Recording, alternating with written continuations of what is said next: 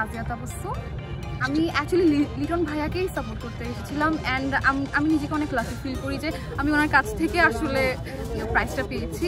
So এটা really আমার লাইফের one of the most amazing moment আর হচ্ছে, বিপেল আসলে অনেক একটা ফান প্লেস আর আজকে এক্সপিরিয়েন্সটা আসলে অনেক ভালো হয়েছিল। সো আমি চাই সবাই বিপিএল দেখতে আসুক আর এই ওয়ান্ডারফুল এক্সপিরিয়েন্সটা এনজয় করুক।